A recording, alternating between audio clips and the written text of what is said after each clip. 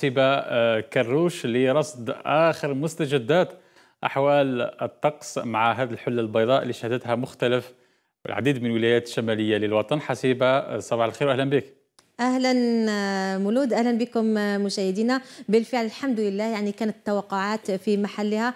الحمد لله كانت ثلوج كثيفة تساقطت يعني خلال الساعات الماضية يعني منذ الساعة الثالثة من صبيحه اليوم اكتست أغلب المرتفعات التي يصل علوها حوالي 800 متر وأقل من ذلك إلى غاية 600 متر. اكتست حلة بيضاء الحمد لله. وفي هذا الإطار لذلك مصالح الأرصاد الجوية أكدت من خلال تنبيه لها من الدرجة الأولى على استمرار تساقط ثلوج كثيفة وهذا دائما على المرتفعات التي يصل علوها 800 متر. مع سمك يتعدى كذلك ال 20 سنتيمتر إن شاء الله إلى غاية الساعة السادسة من صبيحة يوم غد الأحد بحول الله.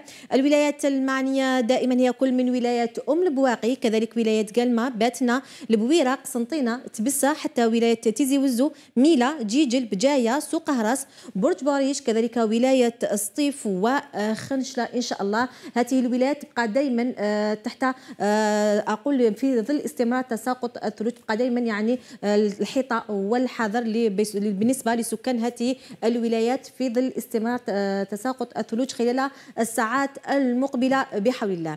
كذلك فيما يخص الأمطار الرعدية يرتقب كذلك حسب مصالح الأرصاد الجوية استمرار تساقط أمطار رعدية غزيرة بكميات تتعدى الخمسون ملم محليا كذلك وهذا إلى غاية الساعة السادسة من صبيحة يوم غد الأحد بحول الله. الولايات المعنية هي كل من ولاية بجاية سطيف سكيكدا عنابة قلمة قسنطينة كذلك ولاية الطارف سوق هراس ميلا جيجل وولاية برج باريج إن شاء الله يا رب تكون أمطار الخير بحول الله خلال الساعات المقبلة.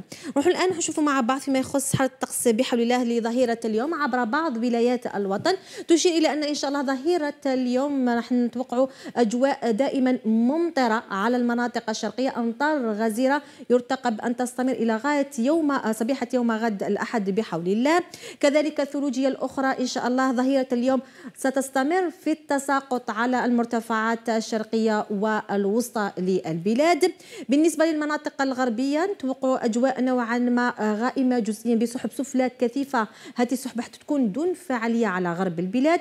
بالنسبة للمناطق الوسطى من مشمس إلى غائم جزئيا مع بعض الأمطار المتفرقة على فترات إن شاء الله والجنوب الجزائري إن شاء الله ظهيرة اليوم. نتوقع أجواء نوعا ما مشمسة. لكن يعني الملفت للانتباه لظهيرة اليوم أجواء راح تكون جد جد باردة.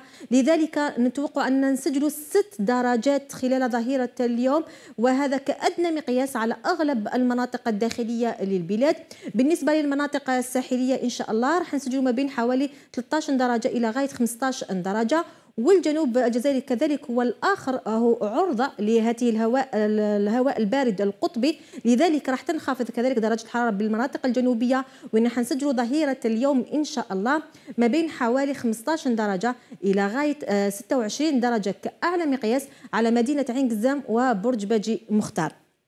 كذلك إن شاء الله أمسية اليوم ولأول مرة آه، ستنزل درجات الحرارة إن شاء الله إلى غاية خمس درجات تحت الصفر متوقعة على أغلب المناطق الداخلية كولاية البيض. كذلك الجلفة تيات نعامة نعامة مشرية أقول حتى على ولاية قسنطينة سطيف برج باريج خنشلة ميلا سقراس يعني خمس درجات تحت الصفر. بالنسبة للمدن الساحلية إن شاء الله أمسية اليوم. راح نسجل ما بين ثلاث درجات إلى أربع درجات فقط والجنوب الجزائري كذلك ما بين خمس درجات إلى غاية عشر درجات فقط. أجواء باردة متوقعة إن شاء الله أمسية اليوم بحول الله. فيما يخص توقعات خلال الساعات المقبلة بحول الله. بداية من يوم غد الأحد بعض الأمطار تبقى دائما تخص فقط المناطق الشرقية مع ثلوجية الأخرى إن شاء الله متوقعات تبقى دائما مستمرة صبيحة الأحد يوم غد.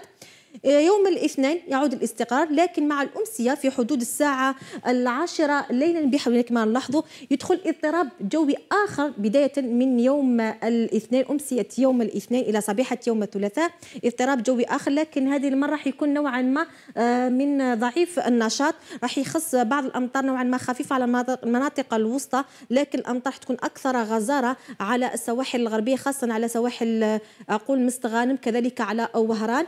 بالنسبة يوم الثلاثاء اضطراب الجو يبقى يستمر إن شاء الله وهذا الاضطراب نلاحظ فيه ضعيف النشاط يكون محمل ببعض الأمطار الخفيفة نوعا ما كميتها ما بين حوالي 15 ملم حتى ال 25 ملم وهذا من أمسية يوم الاثنين إلى غاية يوم الثلاثاء المقبل بحول الله. كانت هذه توقعات الطقس خلال الساعات المقبلة. إن شاء الله يا رب تكون أمطار وثلوج خير بحول الله خلال الساعات المقبلة. نعود الآن إلى مولود لاستكمال بقية الأخبار. شكرا لك حسيبة.